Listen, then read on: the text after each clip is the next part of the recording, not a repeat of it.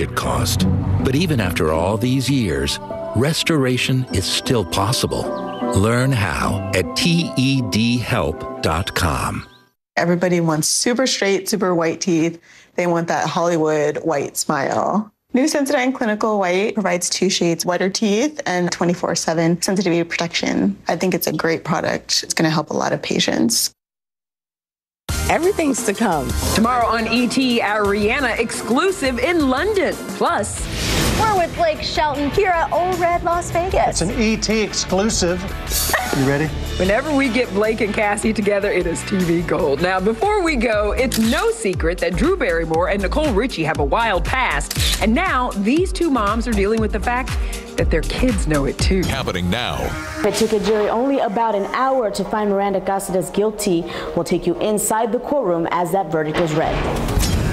This is just one area that San Antonio police have had on their radar for violent crime. They say they're not just watching, but acting. I'll tell you if neighbors believe it's working. More promising rain chances are on the way. Even some drought denting rain possible. I'll let you know when that arrives, how much we could get, and Fiesta cold front. The news at 5 starts right now.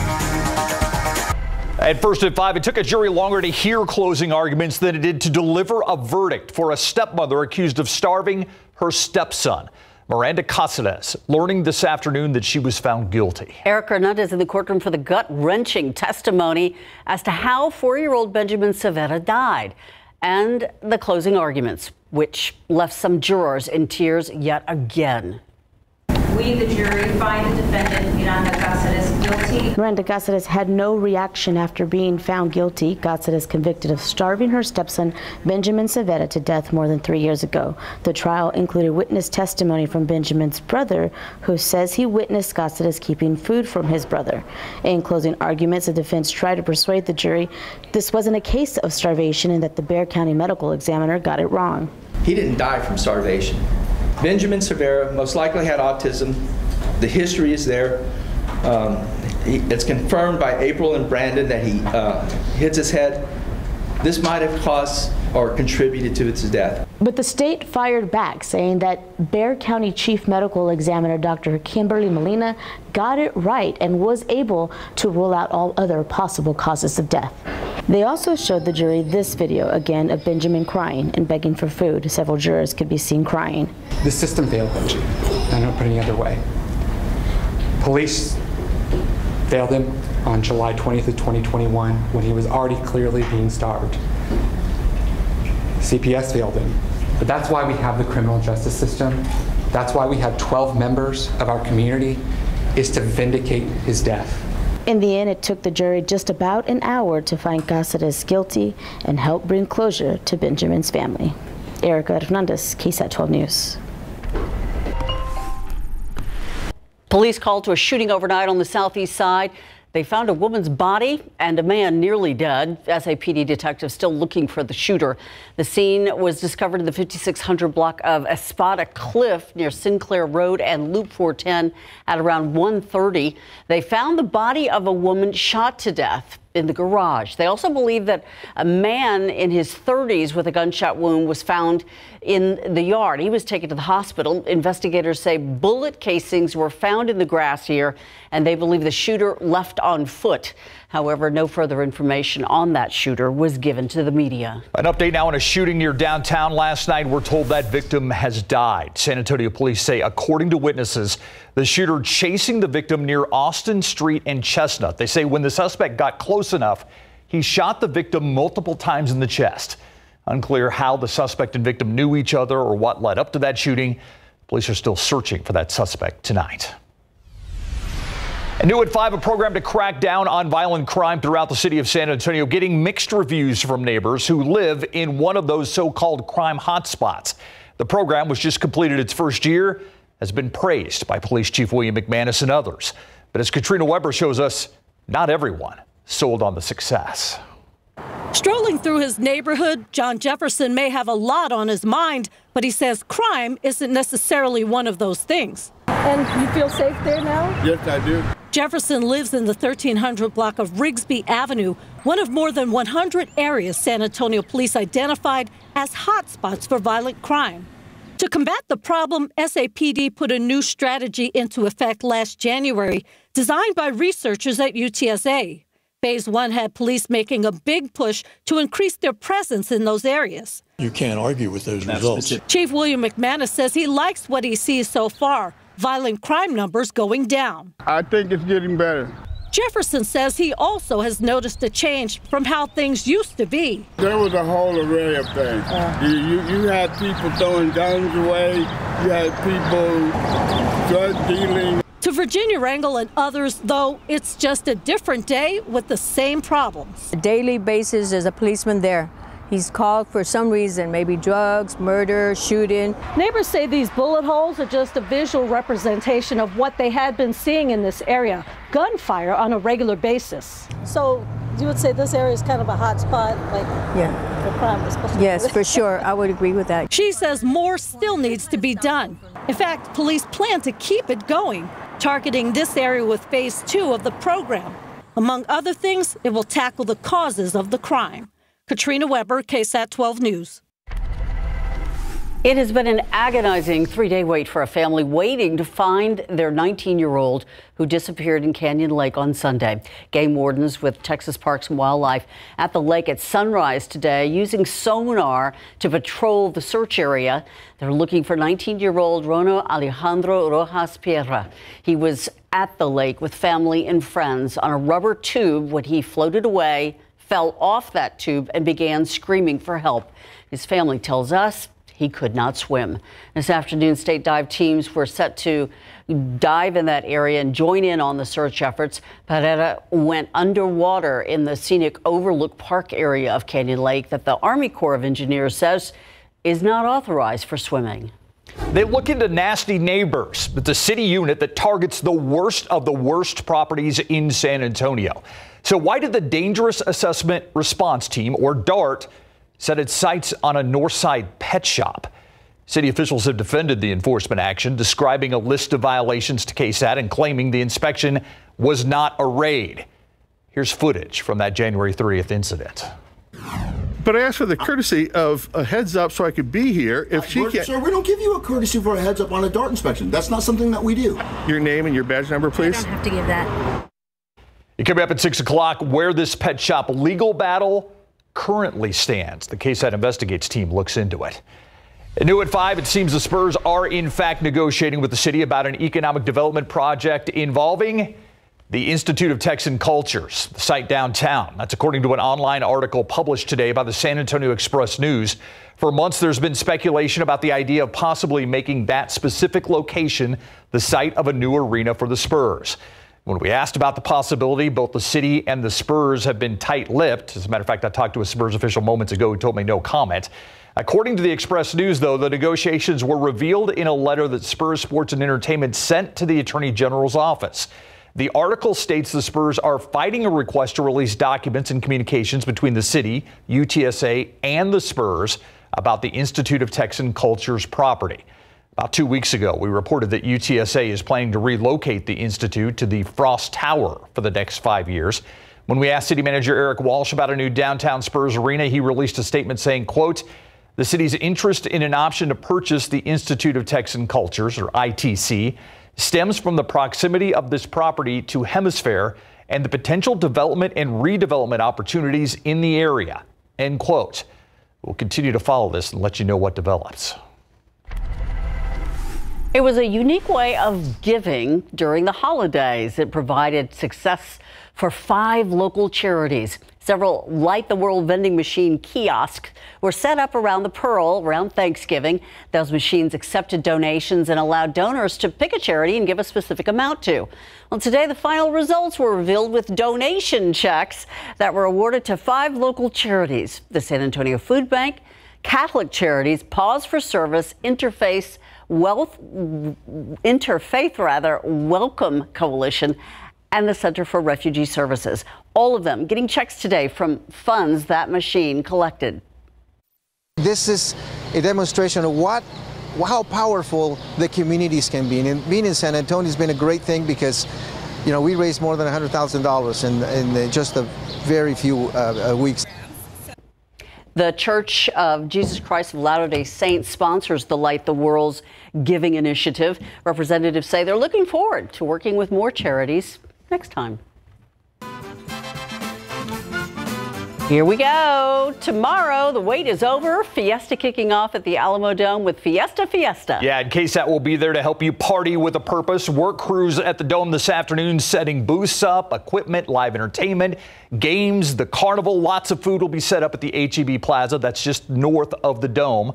And one of the best parts, admission is free. Plus, KSAT will be broadcasting live from Fiesta Fiesta, so we'd love it if you come out and say hi. Fiesta 2024, by the way, runs from April 18th tomorrow through the 28th. KSAT is your Fiesta station. We're hosting two special watch parties exclusively for KSAT insiders. Just scan the QR code you see right there to get your tickets right now. We got the Battle of Flowers party or the Fiesta Flambeau or both parties. But first, you have to sign up to be an insider. It's quick, it's easy, and it's free. And for everything and every anything Fiesta, scan the QR code. We're going to take you instantly to the KSAT Fiesta page. It has your Fiesta guide plus Fiesta extras. And you can post your Fiesta pictures here too. But first, we've got a medal giveaway today taking place at Crockett Park, where Metro Health has set up some sort of a, uh, a fair out there. And what a better place to give out some of these great Weather Authority medals. Mia, Sarah.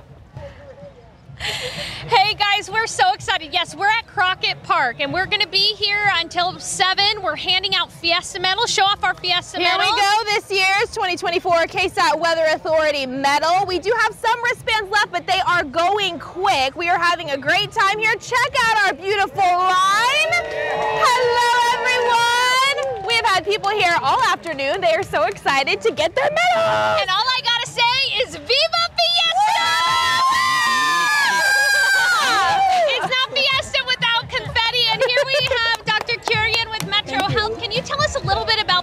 that's going on today? This is our way of ringing in the fiesta in a safe and healthy manner. So we have uh, many of our services showcasing here, but primarily we are uh, highlighting our STI control and prevention program where we are offering free STI testing services. So come on down, get tested, ring in fiesta in a safe and healthy manner. That's awesome. That's free. Any other services you're offering today? Our immunization team is here as well. So if you need vaccines, come on down. It's free. You don't need an appointment. Come on down and get um, stay um, get up to date with your vaccines as well. Wonderful. Thank you so much for offering this service here. And again, we're going to be out here till 7. Come down, get a few wristbands. There's only a few medals to be given out left, but we want to see you. We want to take pictures. We want to do raffles. Come out to Crockett Park. We've got plenty of vendors here too. They've got music, all of the things. So yes, we will definitely give y'all another update coming up on the news at 6. See you then. Always having a good time this time of year, getting ahead of it. Fiesta Fiestas tomorrow, and we've already been having the fun. Now, today, a unique day. We only rose 10 degrees, but with this high humidity, our morning temperature was 72. That's well above the average low of 59. Then we made it up to 82. The clouds that we've had in place really mitigating how warm it gets out there. Where we've had some breaks, it's a bit warmer, as usual. 91 Eagle Pass. 87 Kerrville and Daniels backyard, 84 in Floresville, 85 in Windcrest. Meanwhile, 80 in Bulverde and 81 in Boerne. Extremely sticky and muggy outside. You get the cascarone on your head and you you know the sweat just holds it all right there and that's going to be the case tomorrow too during fiesta you know what i'm talking about during fiesta fiesta you're just covered in it all over the place with the stickiness Southeast wind 5 to 15 this evening. It's going to be sticky and humid. An isolated shower possible, 20% chance. That's mainly closer to the Rio Grande. Promising rain chances in the days ahead. We're going to talk about that and how much we could get and where in just a bit. So what you're basically saying is get ready for a confetti bath tomorrow. You're going to need That's your air basically compressor what when you're, you get home. What you're Yes. saying. Okay, all right, let's go outside right now. 281 at Loop 410. Actually, the ramp doesn't look too bad that goes from 281 to 410, but 410 definitely backed up in the westbound lanes there. Straight ahead, just like everyone else in your family, your furry members may need health insurance too. Veterinary medical bills can be overwhelming for pet owners without coverage. What it can cover, where you can get it, and what is the best coverage plan for your pet. Next. I'm Myra Arthur here in the KSAT newsroom, and here's what's coming up on the news at 6 o'clock today. They got a record breaking budget increase using your tax dollars. Now, Animal Care Services is sharing how that money is being put to use, how close the department says it is to reaching its goals after not being able to respond to more than half of calls for dangerous dogs last year. Plus, is there room for horse drawn carriages on San Antonio streets? The city's considering banning these, but local operators say the city council needs to hold its horses. We'll share that debate. That's today on the news at 6. Thank you, Myra. They are members of the family, and those vet bills for Fido and Fifi can add up. So, what about pet insurance? Does it actually save you money on checkups and emergencies? 12 On Your Side's Marilyn Moritz says before you buy it, there are some other ways to consider saving on your medical care for your pet.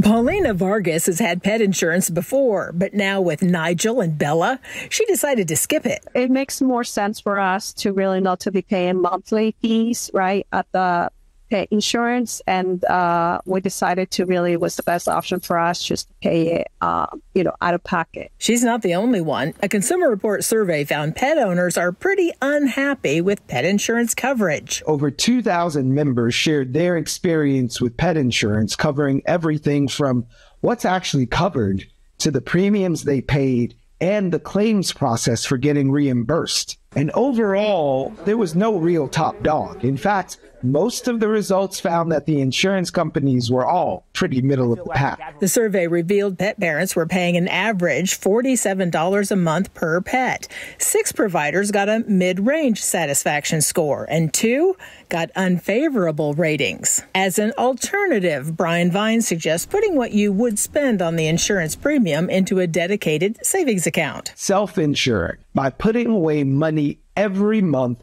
into a direct deposit high yield savings account that you can draw from should your fur baby need some medical assistance. If your pet needs medicine, shop around. It can be cheaper to order online from places like Chewy, Petco, Pet Meds, and Walmart's Pet Pharmacy. Just like you can see the doctor over telehealth for certain conditions, your pet can also see the virtual vet. Two popular sites to do that are Pawp and Bond Vet. Of course, it's for non emergencies. We are being very lucky. They're very healthy and uh, they're happy. Marilyn Moritz, KSAT 12 News.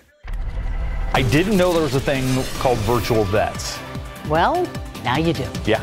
I guess so. Learn something every day. All right, 82 degrees out there, and that cloud cover has hung in today. Yeah. Yeah, it really did locally, especially, and that kept our high temperature in the lower 80s. There were pockets of clearing off to the west where we did make it up closer to 90 degrees. But going forward, we have promising rain chances. This is what we would like to see.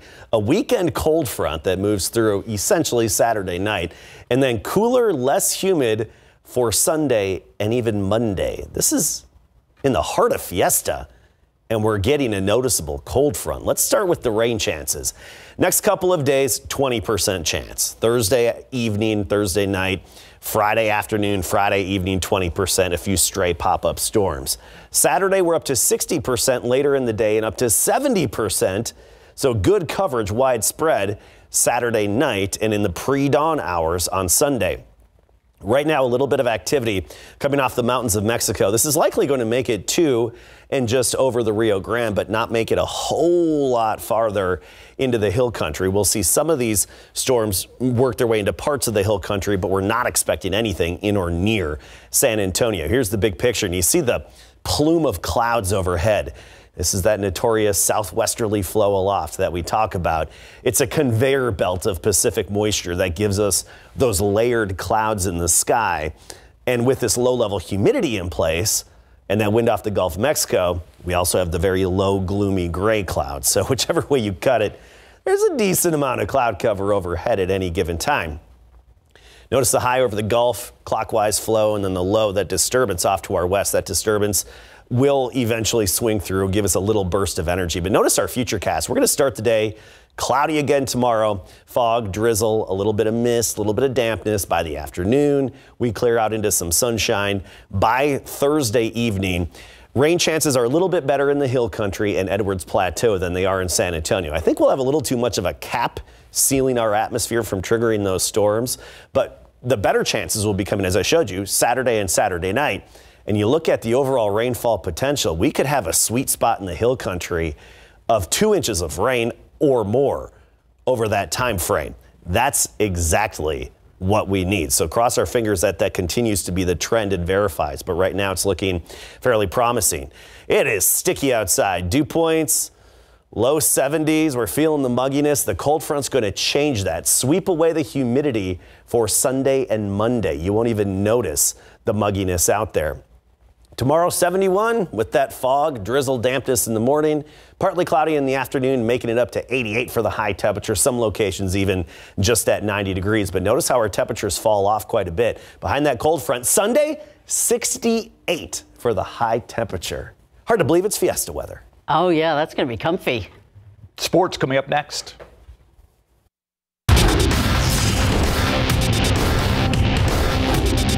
This takes a minute to get used to playing with somebody who's seven five and can do everything. Um, you know where his spots are on the court, where to find him. Devin Vassell and the Spurs had to learn how to play with Wemby, which improved as the season went on in big board sports. Before the Spurs' regular season finale Sunday afternoon against Detroit, a handful of guys held their season-ending pressers. Devin Vassell, Jeremy Sochan, Keldon Johnson, and Wemby all met with the media before the Spurs dropped the hammer on the Pistons. Now, Devin talked for about nine minutes, and he had a lot of good things to say about Wemby. What did he improve the most? Um, I feel like it's a it's a demeanor thing for him. I feel like he really has like it might sound cliche, but like he has like that dog in him. Like he was upset about the refs last game, and he comes back and he hits those threes, and he's just he's just fired up. Like you know, Giannis tried to dunk on him, and there was no, it wasn't happening. Like he's just, I think he's like, I'm here, I've arrived, and there's not nothing anybody can do about it, and that's that's the mindset that he has to have. I mean, he's gotten better offensively, defensively throughout the year. But I think it's the mindset that he has now that there's nobody on the court that can mess with me, and that's that's what we need. Vassell says his foot is getting better and that his goal is to play in all 82 regular season games next season. The Pelicans and Lakers tipped off the Western Conference play-in tournament last night. Zion had 40 points and 11 rebounds for the Pels, but he left the game late in the fourth quarter with a hamstring injury. Now the Lakers stepped up down the stretch to beat the Pelicans 110 to 106 to earn the seventh seed in the West. When we're healthy or how healthy we can get is going to determine how well we play. Um, this is about as close as healthy as we've been, but tonight we showcased what we are able to do both offensively and defensively. We've got a good group going right now, good rotation, good plan, and guys are coming in ready to go. Bron and the Lakers will face two seed Denver in the first round of the playoffs. And the Kings got to light the beam last night in Sacramento because they handled the Golden State Warriors in the second Western Conference play-in game. And the Kings pretty much dominated this one, knocking off the Dubs 118 to 94. Obviously, this team beat us last year in the playoffs, and I mean, it feels good to win this game, but uh, we know we have to we have to go on the road and win another one for us to, I mean, accomplish the first step in our goal. Kings will play at the Pelicans Friday night. The winner will earn the eighth seed and open with OKC. And Zion is out with a bad hammy. We'll be right back after the break. Thanks for watching the News at 5. World News up next. We'll see you back here at 6.